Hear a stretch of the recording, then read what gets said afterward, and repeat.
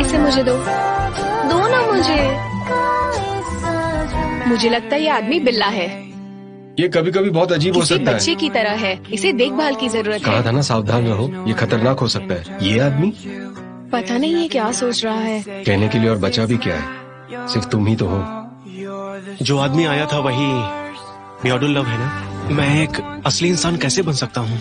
मैं सोलह और उस लड़के को एक कर दूँगा। मुझे बताओ उसके बारे में। बहुत अच्छा और मुझे पसंद करता है। वो मेरा साथ देता है मेरा इंतज़ार कर सकता है। कोई है जो बिल्ली का ख्याल रख सकता है?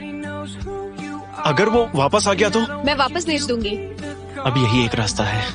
इसका क्या मतलब है? एक पल के लिए मुझे लगा कि तुम इस बिल्ले को नुकसान पहुंचाओगे।